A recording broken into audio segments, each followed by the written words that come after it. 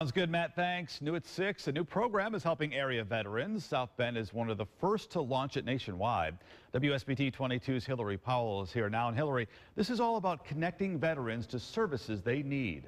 It is. It's a program that's only in two other cities. The Vets Community Connection Program uses the city's 311 call center to get veterans connected to community services. Organizers say they're looking for volunteers to help serve those who serve their country. She's a St. Joseph County Commissioner.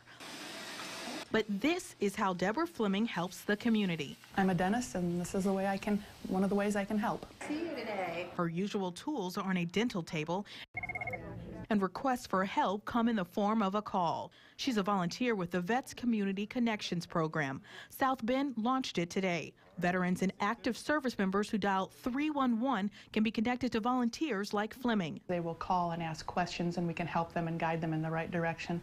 Um, like to work with the North Central Dental Association to also get other dentists involved in this so that we can help the veterans as well. So far, more than 50 volunteers have signed up. They'll guide veterans to service providers, some of whom offer discounted services. It's an effort Mayor Pete Buttigieg says matters to veterans like himself. Coming back into civilian life from active duty is complicated and disorienting. It even was for me, and I knew exactly what I was coming home to. This is not another website on how to get your benefits. This is a human being at the other end of a phone call.